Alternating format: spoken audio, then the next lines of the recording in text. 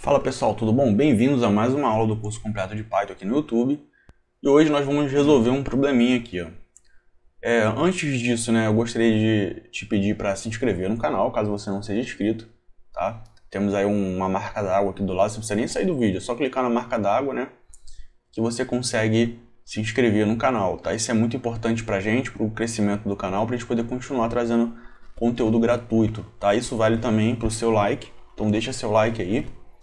É, já deixa agora para não esquecer, se você por um acaso é, não gostar do vídeo, lá no final você dá, dá, o dislike, né? Tira o like e dá o dislike.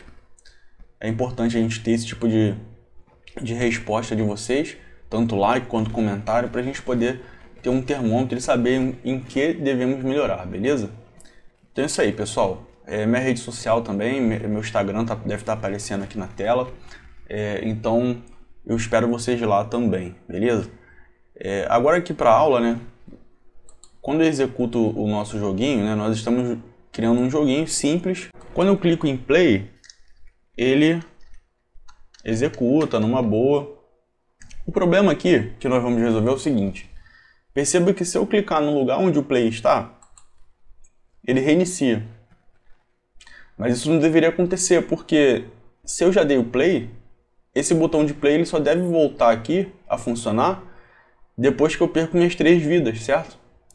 Então isso é um problema, né? porque toda vez que eu clicar aqui acidentalmente, por exemplo, eu vou acabar reiniciando o jogo e zerando todos os o, status do jogo, né? as vidas, etc. A gente ainda não viu aqui nada de pontuação, vidas e tal, ainda vai ter, né?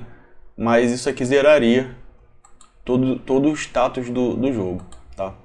Isso é um problema e nós temos que resolver. Como que nós vamos fazer isso? Então vamos lá. Fechando aqui.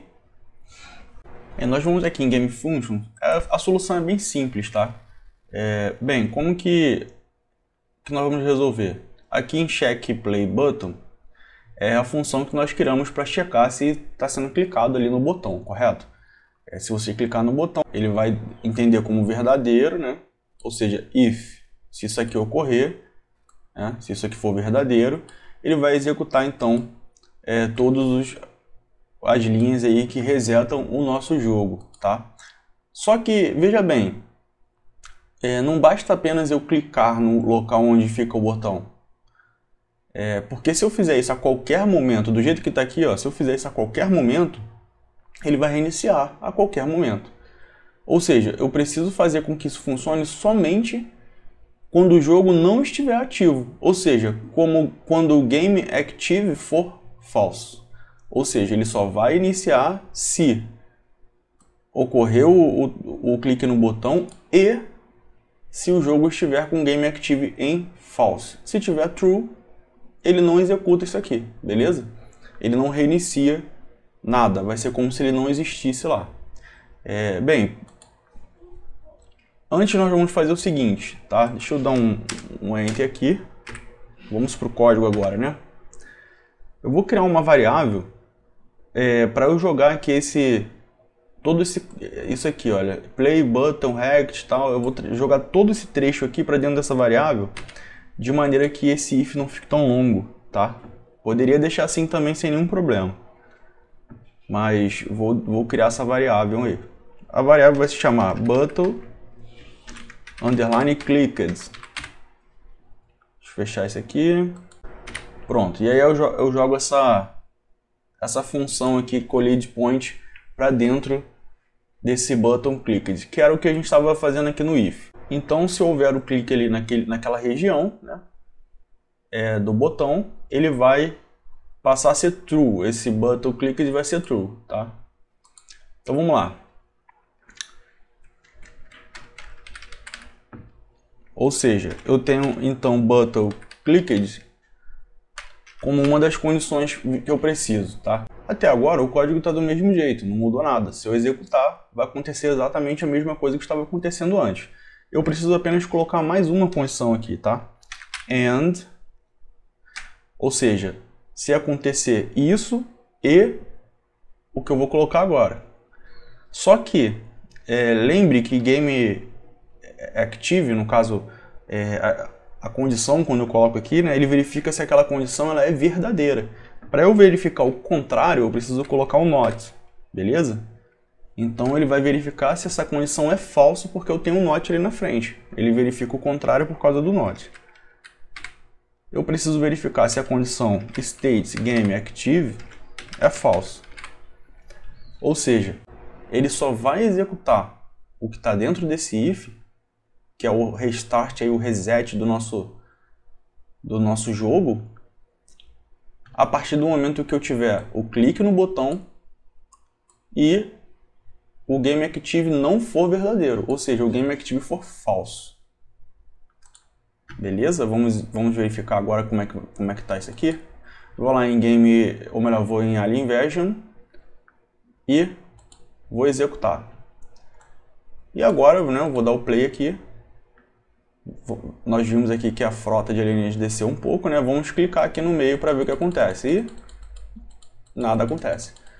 Ele só vai de fato voltar a funcionar quando o botão play aparecer aqui, que é quando é, o Game Active vai passar a ser falso, beleza? Vamos verificar isso aí. Eu vou dar um pause aqui, quando estiver no final eu volto. Pronto, essa é a última vida, né? Teoricamente ele tem que voltar Ó, se eu clicar aqui nada acontece, tá? E agora, pronto, o botão de play apareceu novamente. Se eu clicar, ele reinicia o jogo. Então nós cumprimos aí o nosso objetivo dessa aula, beleza?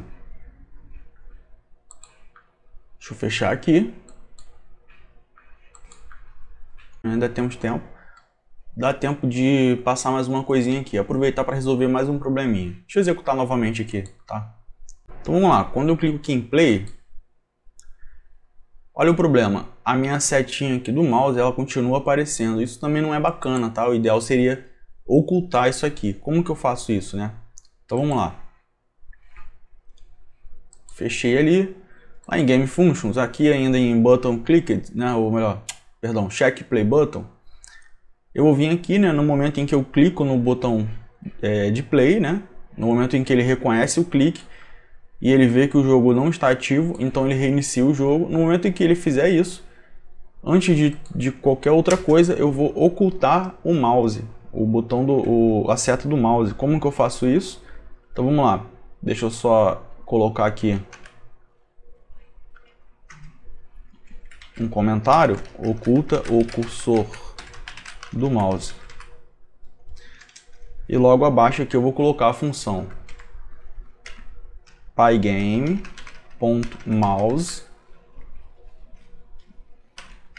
set underline visible. E aí eu vou passar aqui o valor falso. Beleza? É, isso aqui vai resolver o problema, mas vai trazer outro. Eu vou, eu vou executar para a gente ver o que, que vai acontecer.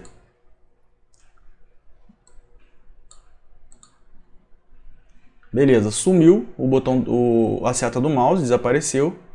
Eu vou simplesmente pausar aqui o vídeo para a gente ver até o final como vai ficar, né? Bem, agora a gente está aí no, na última vida, né? Vamos ver o que, que vai acontecer.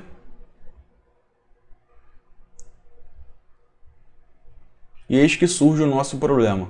O nosso mouse não aparece mais na tela, tá? Ele existe na tela.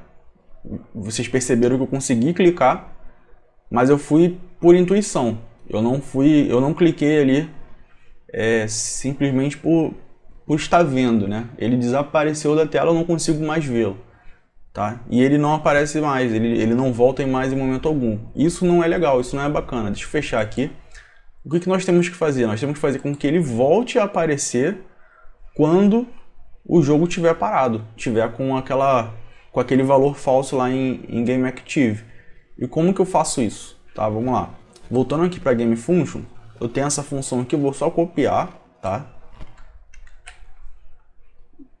E aí eu vou lá para aquela, para aquela, aquela função que a, gente, que a gente criou, né? Que ele verifica lá quando acabam as vidas da, da nossa nave. Aqui, ó, ship hit. E aqui em else ele passa o, o game state aqui, ou melhor, state game active para false. Nesse momento aqui acaba o jogo, tá?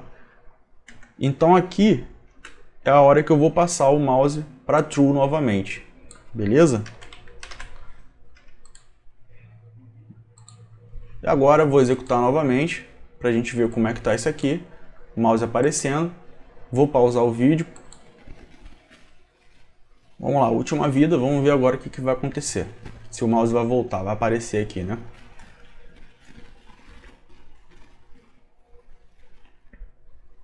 Beleza, tá aqui ó, a setinha do mouse novamente na tela, né?